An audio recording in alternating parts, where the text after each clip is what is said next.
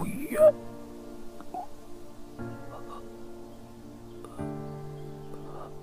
秦大侠，秦大侠，秦大侠！风竹，风竹在。两天后，把他送到大佛寺附近，切记不要在寺里，也不要离得太远。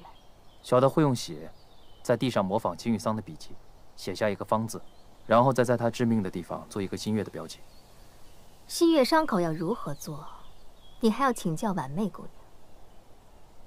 婉香姑娘，那个新月伤口我也会做。秦羽桑在教婉妹主子的时候，我就在窗外听着。二月，像你这种寡情的人，完全不懂得忠义二字。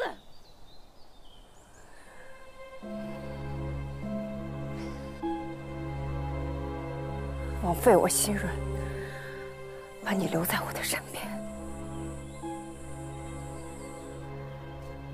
妹妹妹，秦羽桑现在已经死了，你现在再难过，他也活不过来。我们还不如踏踏实实把细节做好，任务了了，有什么不好？还有你，一个眼睁睁看着自己的娘亲死在自己眼前的人，居然居然利用别人的娘，你真是毒蝎心肠！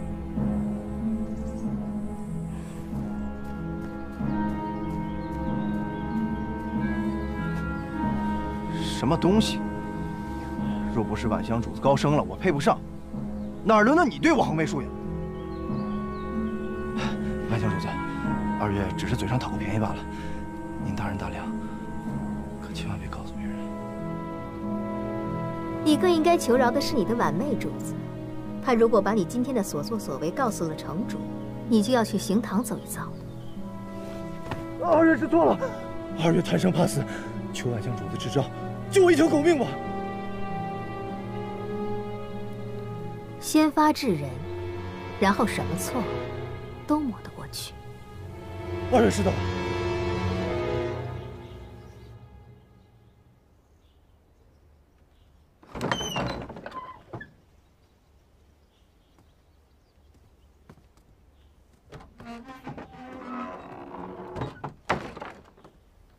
方盟主。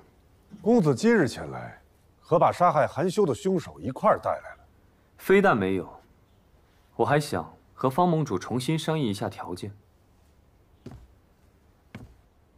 公子虽是个王爷，可如今在江湖中行走，方某不得不提醒公子，言出必行。方盟主说笑了，凶手我自然会交出来，但这一次。我是为另一件事而来。愿闻其详。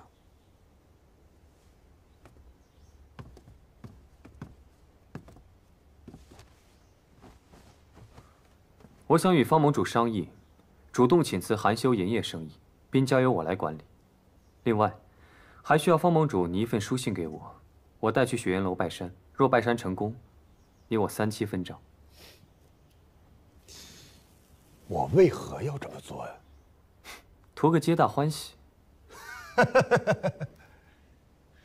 稳赚不赔的买卖，我拱手让人，我倒想听听，哪儿来的欢喜啊？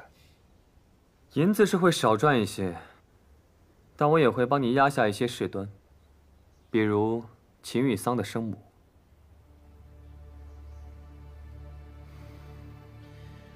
此事方某也略有耳闻，不过空穴来风，公子不必在意。略有耳闻，谈生意的第一要务，就是要表里如一，言行一致。秦玉桑的生母现在正暂住我鬼化城，手里还留着当年的卖身契，而且据他所说，他昨日登门拜访于你，你还口口声声答应他。带他去秦府认亲，现在距离他来找你还不到十二个时辰，你却说有所耳闻，方盟主不地道。既是如此，你把卖身契拿来给方某一关，方某再做打算。事情是真是假，你心中一定有数。在我看来，你要卖身契，也只不过是为了拖延时间罢了。小王自认为自己是个聪明人，聪明人就会借势造势。若这件事传了出去，方盟主，恐怕对您和秦大侠来说，都只有名誉受损，给江湖人以口舌。方盟主，您不会连这点账都算不清吧？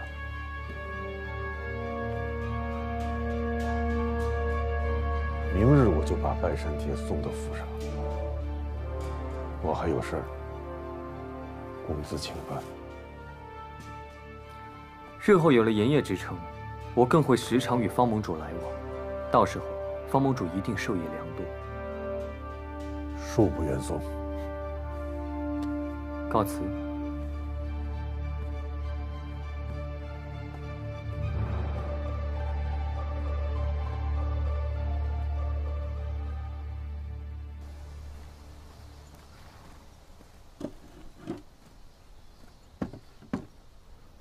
私盐，一个这么搬不上台面的东西，没想到坐落在这么优雅的山峰里。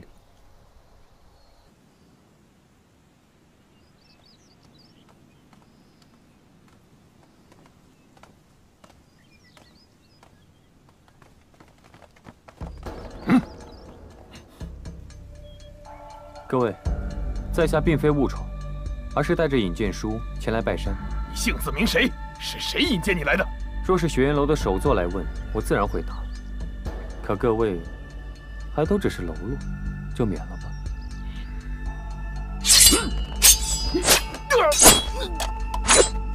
下回就没那么客气了，让开。月影，在这等我。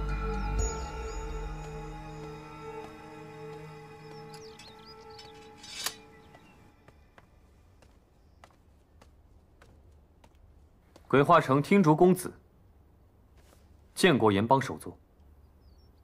你就是那个接手含羞生意，还没来拜山门的吧？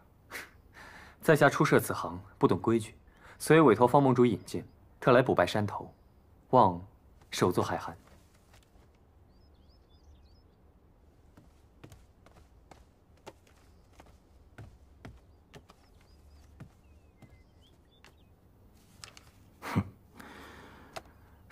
数目倒可观，只不过还差点意思。请首座明示。阁下可知，想入此行，需闯三关。愿闻其详。第一关是胆识，你能入得了雪岩楼，证明胆识尚可，第一关算是过了。那第二关呢？第二关是才学。请阁下抬头，猜猜殿墙那幅画供的是哪位神？